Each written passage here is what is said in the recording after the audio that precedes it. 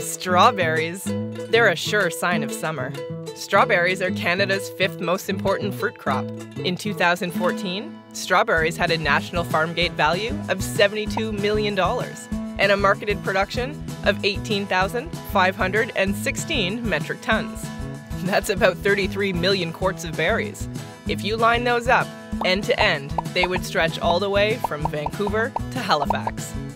The AAC Lila is the latest strawberry variety to be released by Agriculture and Agri-Food Canada, and it's the 10th strawberry variety developed by Dr. Andrew Jamieson and his team at the Kentville Research and Development Centre in Kentville, Nova Scotia. The AAC Lila is a large, mid-season variety. It's a very attractive, glossy berry with a nice balance of sugar and acids, and it has an intense strawberry flavor. But looks aren't everything when it comes to good strawberry breeding. And the AAC Lila has one more quality that strawberry growers really like. It's very easy to pick. And the reason it's easy to pick is because the stems have a curve in it and the stems are quite brittle so that when you pull on the berries they break off very easily.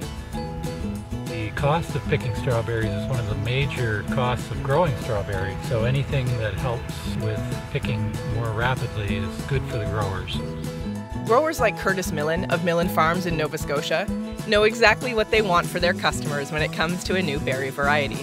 We look for fruit that has flavor, that has size, that has color, that has shape, and certainly his last release, the Lila, is one that we believe probably has a lot of all. This strawberry season, whether you pick them yourself or pick them up at your local grocery store, you're gonna love the new AAC Lila.